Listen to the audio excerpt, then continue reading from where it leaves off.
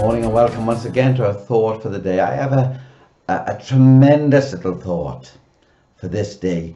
In fact, for every day of our lives, I'm going to mention a, a, a couple of verses from a passage of scripture that I've grown to love. And it means so much to me personally. And it's Micah chapter 7. And when you have time, I want you to read the first seven, eight verses. And it's so wonderful as you read it and see what happens. But I want to read you verse 7 and 8. It says, Therefore I will look unto the Lord, I will wait for the God of my salvation. My God will hear me. Rejoice not against me, O mine enemy. When I fall, I shall rise. When I sit in darkness, the Lord shall be a light unto me. I'm glad that you feel that you've fallen and failed. His everlasting arms are able to lift you up and to take you on to success in him. I'm glad that he is our light in the time of darkness. He is the one upon whom we can depend. And so the little uh, uh heading I've given to my thought is simply this, and I love it. My God will hear me. Just five words. My God will hear me. You see, our reading today is a pretty discouraging one when you read it. Until we come to that verse 7. But coming to that verse 7 is quite incredible. Verse 2 says this, The good man is perished out of the earth, and there is none upright.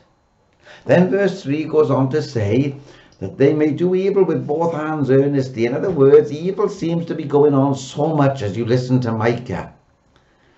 And it's not the same in our day. Verse 5, it says, Trust ye not in a friend, nor put confidence in a guide, and on we could go as we read these verses.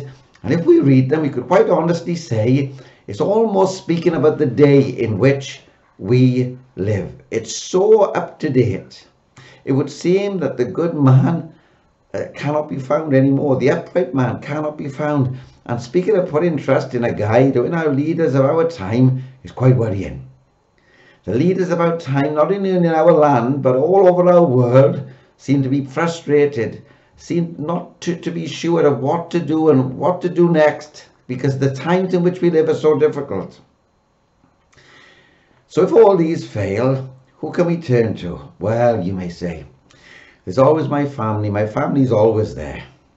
And yet verse 6 goes on and shows us that there are even problems that can be found in the home.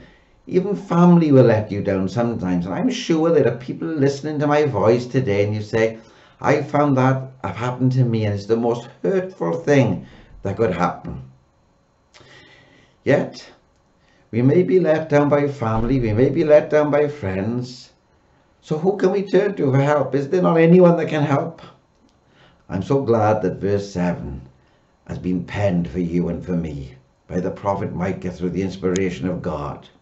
And it says there, this, Therefore, when all these things happen, therefore, I will look unto the Lord. I will wait for the God of my salvation. My God will hear me. What a guarantee. My God will hear me. When everyone else turns a deaf ear, when everyone else doesn't want to know, my God will hear me. And I want to tell you right now, whatever happens in this day, you call upon him and he will hear you. You see, nothing takes God by surprise. And it may be that today you go into the day and everything seems to be fine and all of a sudden something happens that you never expected.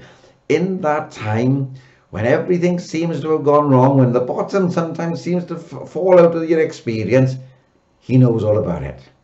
And he's waiting for you to call on him because he guarantees he will hear you. What a promise and what a great truth. Because our God is a living God. Our God is a loving God. But he's also a listening God.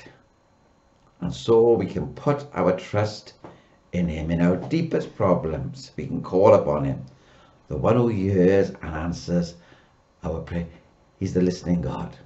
Isn't it strange? You know, there are companies and they have slogans. There's a certain bank and they say they're the listening bank. But you know, sometimes they don't listen. I'm glad that Jesus always listens.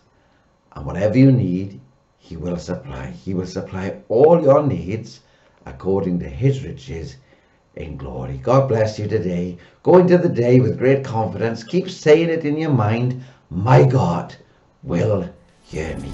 God bless you.